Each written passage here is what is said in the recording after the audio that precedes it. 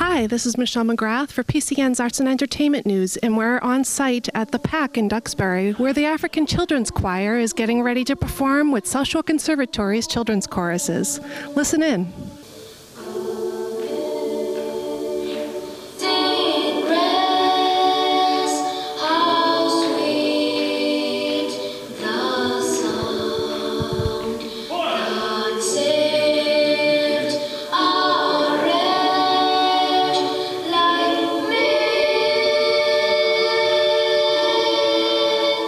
Wanted to have a bunch of kids that have, I mean, taken care of from the word go, from when they enroll into the choir to the time they go back to Uganda to go to the African Children's Choir Primary School.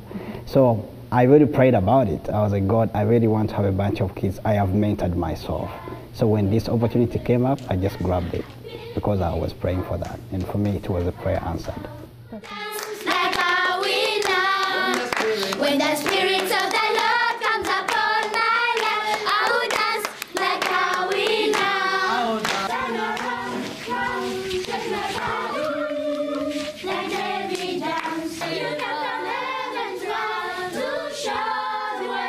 Are you enjoying your tour? Yes, How's the music? Is it really exciting? yes, it's really exciting. Do you think when you go back home to Uganda, you're going to keep singing these songs? Yes, What's your favorite? my favorite song is Sing. Well, that makes sense considering that's what you're doing here, right? Yes, Had you seen snow before you came to the United States? no, What was the first thing that you did when you saw snow the first time? We ate it and played in it. I bet you did. That must have been so fun. Have you been enjoying this tour? Yes, Aunt. Where's where's your been your favorite city to visit so far? New York City. New York City. I bet that was a lot of fun.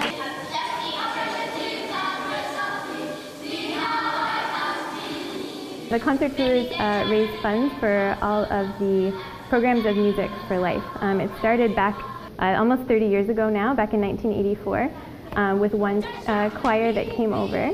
Um, and we're the 40th choir to go out. There have been now 41.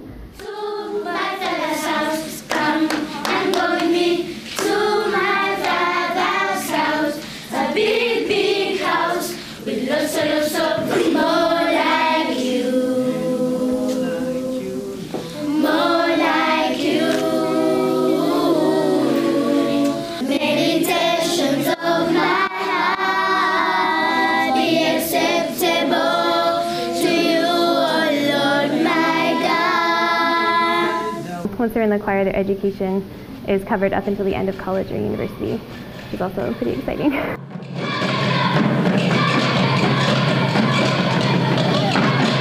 this experience of bringing kids in their own their different cultures their different worlds but everything comes together through that power of music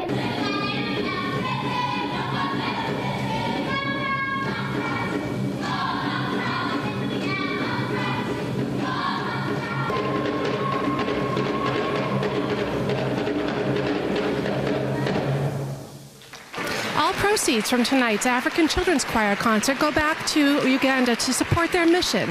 Michelle McGrath for PCN's Arts and Entertainment News.